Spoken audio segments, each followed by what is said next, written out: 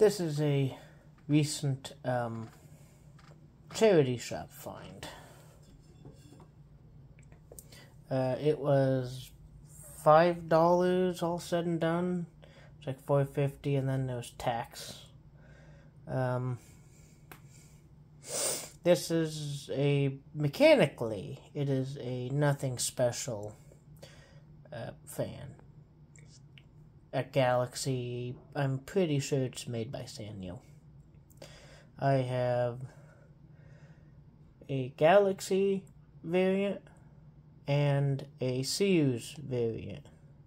And the only reason I got this one because of the condition it's in is because this is a Crosley branded variant.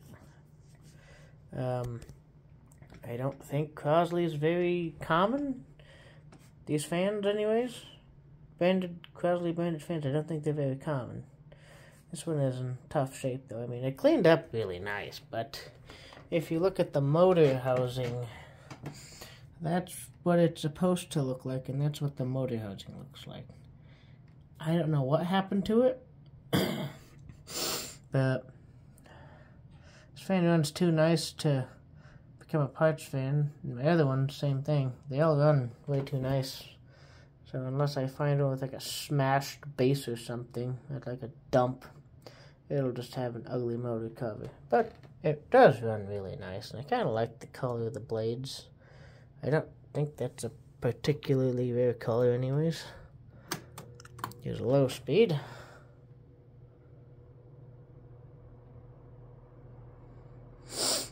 Bearings are a little stiff because it was really struggling when I bought it.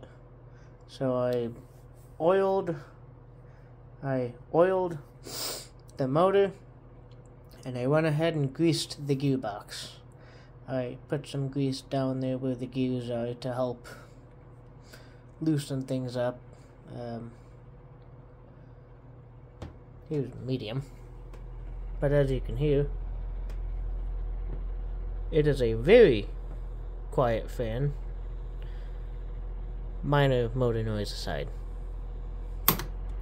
Here's a medium.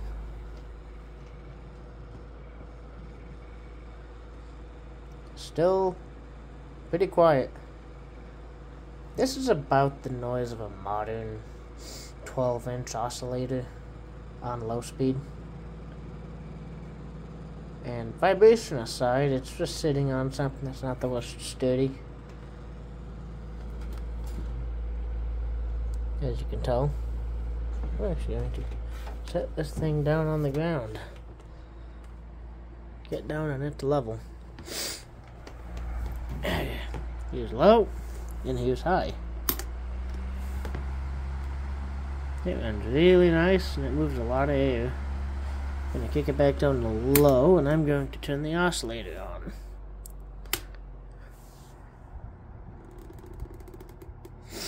That creaking noise is the head wire just stretching and unstretching and stretching and unstretching.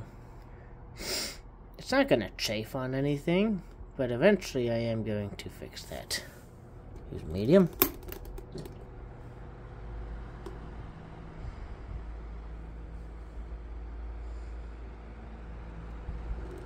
Here's high.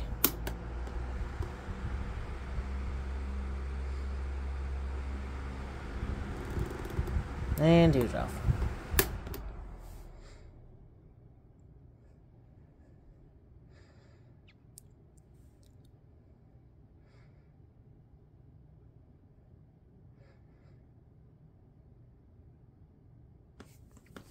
Back in the day, these were pretty just a common fan you'd buy at Sears or other stores. Um, but nowadays, these are kind of like the gold standard. Modern fans can't keep up with these.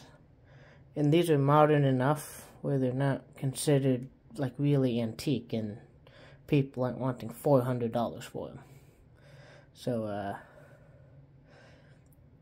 I just like acquiring these because they run so good and One of them I've loaned out to a family member.